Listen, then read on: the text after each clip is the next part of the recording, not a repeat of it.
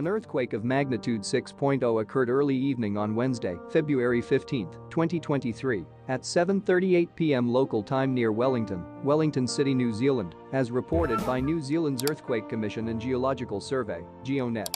According to preliminary data, the quake was located at a moderately shallow depth of 57.4 kilometers. The exact magnitude, epicenter, and depth of the quake might be revised within the next few hours or minutes as seismologists review data and refine their calculations or as other agencies issue their report.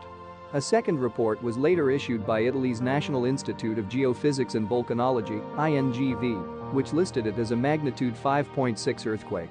Other agencies reporting the same quake include France's Réseau National de Surveillance Sismique RéNaSS, at magnitude 6.0 the German Research Center for Geosciences, GFZ, at magnitude 6.0, and the European Mediterranean Seismological Center, EMSC, at magnitude 5.8.